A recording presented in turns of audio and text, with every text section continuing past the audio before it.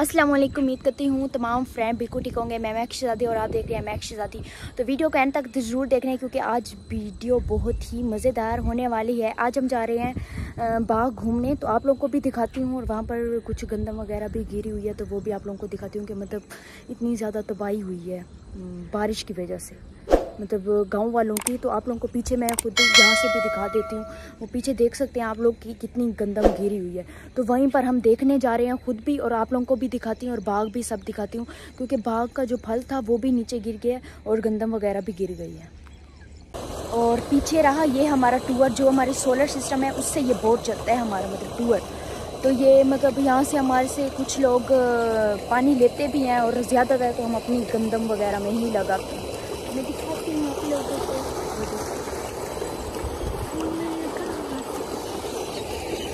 इस साइड पे हमारी गंदम और इस साइड पे हमारी मक्की।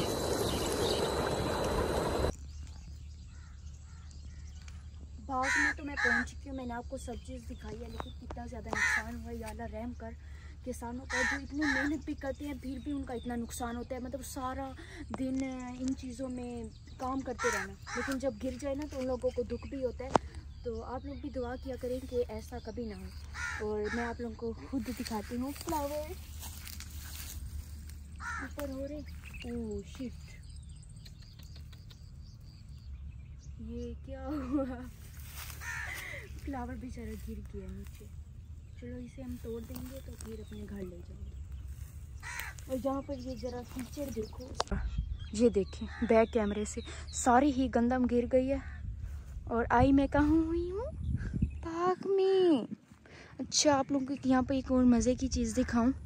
यहाँ पर ना फ्लावर भी हैं, जो कि हम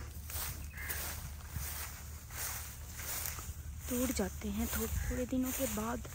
और यहाँ पर वो देखो, सामने नज़र आ रहे हैं, लेकिन मैं जान, गंदम, गिरी हुई गंदम से रही। ये देखो। फ्लावर। Guys flower. वाओ माशाल्लाह माशाल्लाह। इतनी ज़्यादा फ्लावर लगे हुए हैं।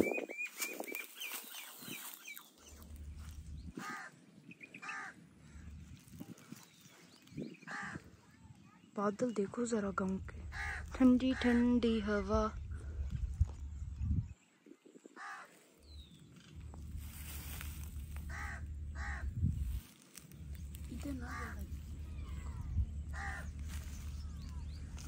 और ये देखें इतना मतलब ये फल है ना, जो बाग का तो आधा तो नीचे गिरा हुआ है।